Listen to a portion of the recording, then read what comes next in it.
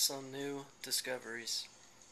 So apparently the jaguar in Mayan astrology, Ix, the three dots on it not only represent the freckles on the jaguar, but also the stars of the Milky Way galaxy, they say.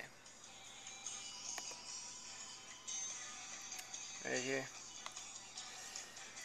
Um, says the spotted skin symbolizes the stars of the Milky Way galaxy, the road to the underworld. Um, they say the jaguar energy relates to the earthly, spiritual, primal spiritual forces within all living creatures. With a nocturnal shaman, secretive, ruling spirit of jungles and mountains, and guardian of earthly magic. That's totally me, like. And of course, Omar and Jim Morrison and Isaac Newton.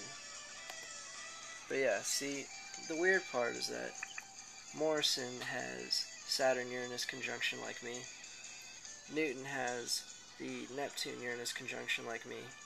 And Descartes has the Neptune Saturn conjunction like me, because I have the triple conjunction. And all these fools are, you know, jaguars like me. They're very intuitive and you know, just clicks. And I, I do most of my work at the night. And like, oh, it's weird. I'm wearing my Volta t-shirt. But uh, yeah, the shit gets realer every day. I mean, it's so personal. Like, I think people are scared of astrology because they don't want spirituality to be that specific. They want to kind of keep it a mystery.